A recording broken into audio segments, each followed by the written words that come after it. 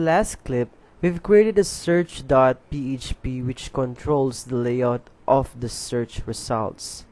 On this lesson, we will add the loop of the search functionality to output the results by creating the content-search.php file. First, copy these codes here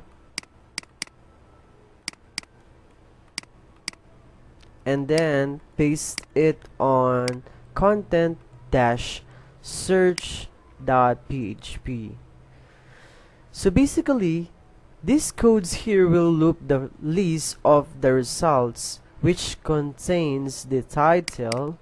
the permalink the author post the uh, author itself the the date the category and the excerpt which is wrapped in an h1 tags and also a paragraph tag